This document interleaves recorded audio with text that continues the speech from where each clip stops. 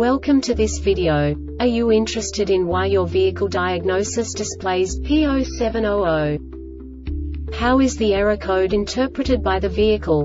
What does P0700 mean, or how to correct this fault? Today we will find answers to these questions together. Let's do this. First, let's look at the history of diagnostic fault code composition according to the OBD2 protocol, which is unified for all automakers since 2000. We divide the electric system of automobile into the four basic units. Powertrain, body, chassis, network. This distribution is defined in the first character code. If the second character is expressed as zero, it is a standardized error. In the case of numbers 1, 2, 3 it is a more prestigious expression of the car-specific error. The third character specifies a subset of errors. The distribution shown is valid only for the standardized DTC code. Only the last two characters define the specific fault of the group. Let's not forget that such a division is valid only if the other character code is expressed by the number 0. Our website airbagreset.sk produces useful videos for you. You do not have to go through the OBD2 protocol anymore to know how to troubleshoot any car breakdown. You will find all the diagnostic codes that can be diagnosed in a Mercury vehicles. Also many other useful things. The following demonstration will help you look into the world of software for car control units. You unbelievably can move the video a bit further. The error code is split into two bytes consisting of 16 bits. One bit is the basic unit that each computer works with.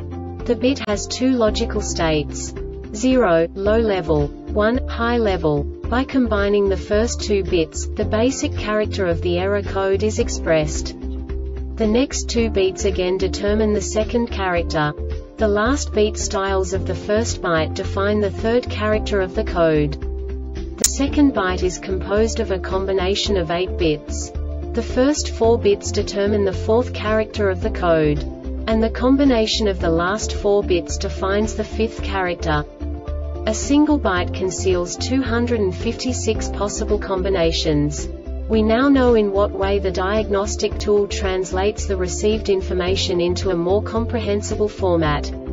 The number itself does not make sense to us if we cannot assign information about it to what it actually expresses. So, what does the diagnostic trouble code P0700 interpret specifically Mercury car manufacturers?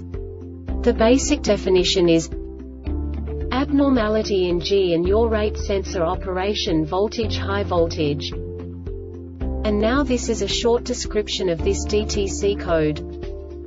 When the power supply voltage applied from ASC-ECU to the G and yaw rate sensor is not within the standard value range lower than high higher than lower than high higher than. This diagnostic error occurs most often in these cases. Damaged wiring harness and connectors G and yaw rate sensor malfunction ASC-ECU malfunction. The Airbag Reset website aims to provide information in 52 languages. Thank you for your attention and stay tuned for the next video.